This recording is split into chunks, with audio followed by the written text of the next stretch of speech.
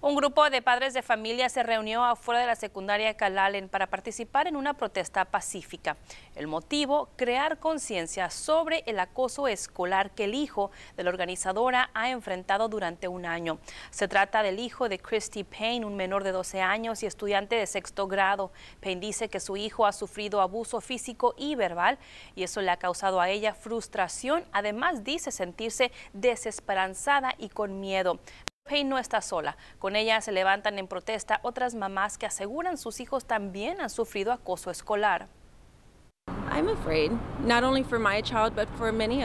Tengo miedo, no solo por mi hijo, pero por muchos niños. ¿Por qué se tiene que hacer algo tan drástico para que la gente haga caso?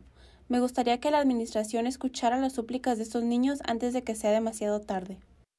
El superintendente de Calalen ISD dice que han iniciado una investigación contactando a padres y recopilando toda la información para llegar al fondo de este caso.